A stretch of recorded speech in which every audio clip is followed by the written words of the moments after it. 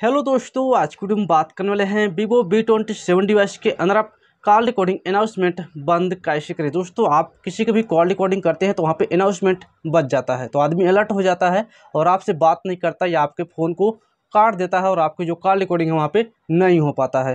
तो दोस्तों, आप अपने कॉल रिकॉर्डिंग अनाउंसमेंट को बंद कैसे करेंगे, इसी का सेटिंग में आपको यहाँ पर बताएँगे। अगर वीडियो अच्छी लगे तो वीडियो को लाइक शेयर एंड सब्सक्राइब ज़रूर करें।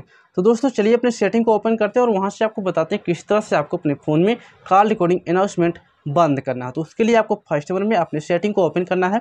तो हम यहाँ पे अपने सेटिंग को ओपन कर लिए आप देख रहे हैं जो हमारा सेटिंग है, यहाँ पे ओपन हो जाता है और सेटिंग में आपको कुछ ऐसा इंटरफेस देखने को मिल जाएगा। तो आपको थोड़ा सा स्कूल करना है, नीचे आ जाना है। नीचे आपको मिलता है ऐप्स का ऑप्शन आपको उस पर क्लिक करना है। योलो ऑप्शन पर आपको क्लिक करना है।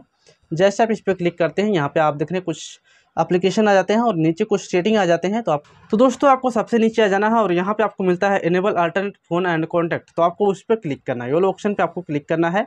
जैसे आप इस पर क्लिक करते हैं, यहाँ पे आप देख रहे हैं छोटा सा बटन आ रहा है, आपको उसको इनेबल करना है। ये वाले बटन को आपको इनेबल करना है। जैसे आप इसको इनेबल करेंगे, यहाँ पे ओके का ऑप्शन आ जाएगा, आपको ओके कर देना है। तो हम यहाँ पे इसको ओके कर देते हैं और इसके बाद यहाँ पे सेट नाव का ऑप्शन आएगा, आपको सेट नाव कर देना है। और यहाँ पे आप देख रहे हैं, जो आपके फ़ोन में डालर है, यहाँ पे आ जाता है।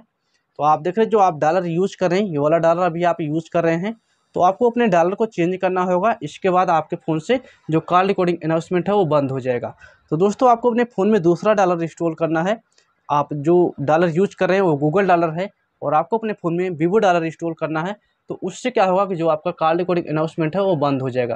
क्योंकि जो गूगल डॉलर है, उसके अंदर कॉल रिकॉर्डिंग अनाउंसमेंट मिलता है, और जो वीवो डॉलर है, उसके अंदर आपको कॉल रिकॉर्डिंग अनाउंसमेंट नहीं मिलता है तो आप इसको अगर यूज़ करते हैं तो आपका जो कॉल रिकॉर्डिंग अनाउंसमेंट है, वो बंद हो जाएगा। तो हम इसको यहाँ पे ओके कर दिए हैं और यहाँ से आपको कुछ नहीं करना है, इसको आप यहाँ से कट कर लेना है। जैसे आप इसको कट करते हैं, जो आपका डॉलर है, यहाँ पे चेंज हो जाएगा। आप देख रहे हैं, जो हमारा डॉलर है, यहाँ पे चेंज हो चुका है। अब हम किसी को भी कॉल लगाएँगे तो यहाँ पे कॉल रिकॉर्डिंग अनाउंसमेंट नहीं बजेगा। तो दोस्तों, इस तरह से आप अपने फ़ोन में कॉल रिकॉर्डिंग अनाउंसमेंट बंद कर सकते हैं। तो दोस्तों, उम्मीद करता हूँ आपको समझ में आ चुका हो किस तरह से आपको अपने फ़ोन में कॉल रिकॉर्डिंग अनाउंसमेंट बंद करना है। तो दोस्तों, अगर वीडियो अच्छी लगी हो तो वीडियो को लाइक कर लें शेयर कर लें। अगर हमारे चैनल पर नए हो तो चैनल को सब्सक्राइब कर लें और बेलाइकन प्रेस कर लें ताकि हमारे वीडियो का नोटिफिकेशन आपको सबसे पहले मिले। फ्रेंड्स, फिर मिलते हैं एक नेक्स्ट वीडियो में। तब तक के लिए बाय बाय